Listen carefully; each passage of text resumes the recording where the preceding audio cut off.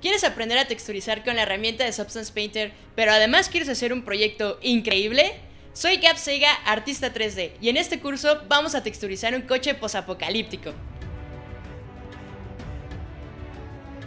Lo que aprenderás en este curso es cómo funcionan los mapas de texturas, la interfaz de Substance Painter, cómo funciona el bake de Substance Painter. Vamos a usar los filtros, el anchor point, los procedurales de esta herramienta, además de creación de Smart Materials.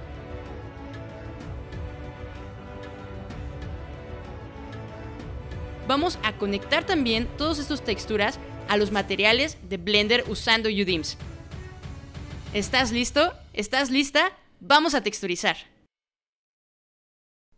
Hola chicos, ¿cómo están?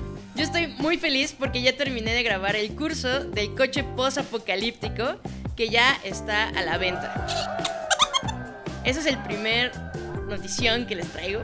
El segundo, a los primeros 20 artistas, exactamente 20 artistas, que me apoyen en Patreon, este curso va a tener un descuento del 100%.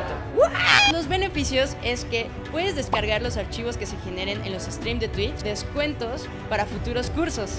Así que gracias a tu apoyo seguiré creando contenido. Te dejo el link de Udemy y de Patreon por si quieres darle una checada. Y si quieres seguir con el contenido gratuito, no olvides suscribirte a este canal de YouTube.